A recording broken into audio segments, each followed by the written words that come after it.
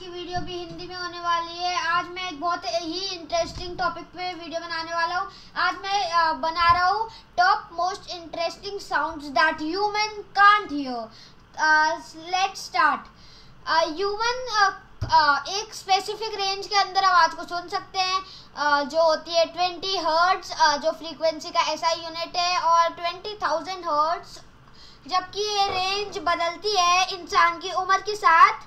पर इसकी रेंज के बाहर की आवाज़ें हमें सुनाई नहीं देती। हम आज इन्हीं कुछ आवाज़ों के बारे में बात करेंगे जो हमें सुनाई नहीं देती। पहली इंफ्रासाउंड ये साउंड हमेशा ट्वेंटी हर्ट से नीचे होती है और ये अर्थक्वेक वॉल्केनिक इरप्शन लाल स्टॉर्म्स वगैरह के वजह से आती है। हम इन्हें सुन नहीं सकते, पर हम इन्हें वाइब्रेट होते हुए महसूस कर सकते हैं। फिर आती है अल्ट्रासाउंड ये साउंड है जो हमारे कानों की लिमिट को एक्सीड करती है और ट्वेंटी थाउज़ेंड हर्ट्स से ज़्यादा होती है।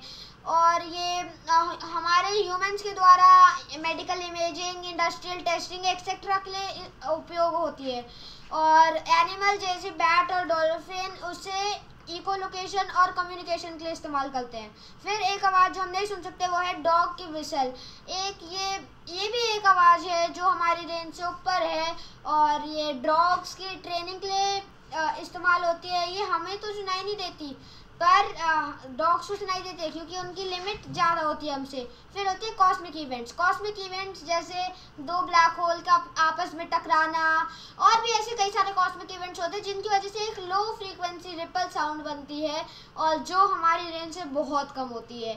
फिर सम एनिमल कम्युनिकेशंस ज़्यादातर एनिमल अपने बहुत कम जैसे एलिफेंट इंफ्रा साउंड करते हैं, अपने से बात अपने दूसरे साथियों से बात करने के लिए रोडेंट्स अल्ट्रासोनिक साउंड यूज़ करते हैं, जबकि अब साइंटिस्ट ने ऐसी डिवाइसेस इन्वेंट कर रखी है जो ऐसी आवाज़ों को भी सुन सकती है और बहुत काम आ सकती है।